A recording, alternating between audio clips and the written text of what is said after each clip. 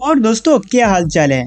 आज की इस वीडियो में आपको बताऊँगा how to enable double tap to screen on off features बिना पावर ऑन दबाए display light on off and device lock कैसे करें?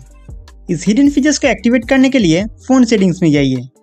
सेटिंग्स ओपन करने के बाद लॉक स्क्रीन पे टैप करना है। यहाँ पे डबल टैप टू वेक और turn off screen when device is lock settings turn on कर दीजिए। इसके बाद बैक आइए। Next home screen settings open करना है। अब यहाँ से double tap to lock screen features turn on कर दीजिए।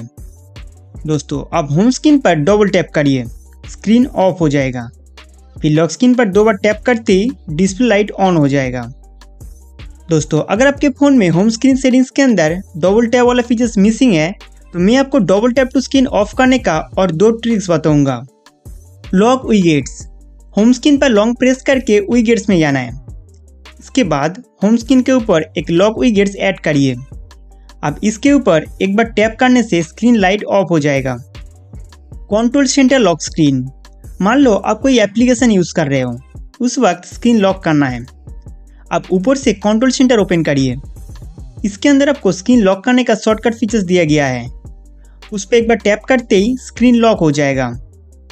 तो दोस्तों, इस तरीके से आप बिना पावर बटन दबाए स्क्रीन ऑन ऑफ़ और डिवाइस लॉक कर सकते हैं। उम्मीद करता हूँ कि ये वीडियो आपके लिए बहुत हेल्पफुल था।